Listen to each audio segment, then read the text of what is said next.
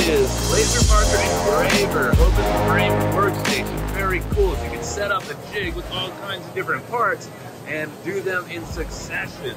And then, of course, obviously over here we have Sarah, an amazing salesperson for Radian Systems. They have other laser engravers like this one where you can just, it's a full unit and then obviously you upgrade to the larger size. Now, Patrick, what would you use this for? Oh gosh, what would you not use it for? I mean, do you want to just laser phone your iPhone cases? Do you want to do products? Do you want to put information on it? You can use it for this right here. Ready, set, watch it.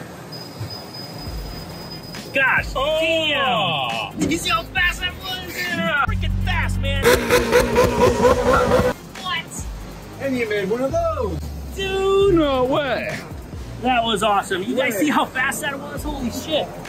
Fucking positive. Very cool. Check them out, Radian Laser System.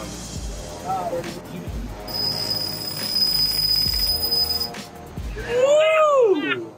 Almost too fast to catch. Look at that. Wow. Not even Go- burned. Get the close up. Not burned. Hold it still. No burns on it. Look at the accuracy and how freaking fast it was.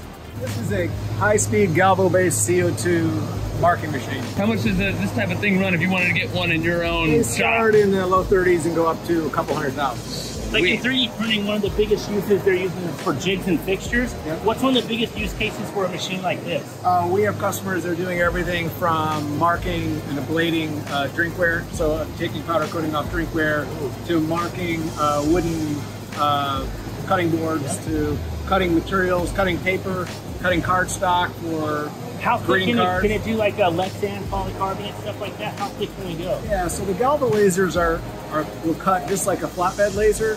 The problem with the galvo laser, they're really marking machines because when they're cutting, they're actually everything is at angles. So the galvo-based system is a galvanometer scanner with uh, high-speed galvanometer scanner, CO2. Perfect for marking, super high-speed marking. We'll also cut, when it cuts, it cuts at angles. So it's like Okay. you have to cut it. So this is best for market. This is best for marking, yeah, or thin cutting, fabrics, papers, things like that. Rubber. Uh, yeah, rubber. Awesome. Thank you so much Have a great day. Love you.